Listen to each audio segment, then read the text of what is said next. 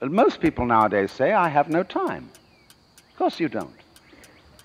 Because you are not aware of the present. You know, the present is represented on your watch by a hairline. The present is the only real time.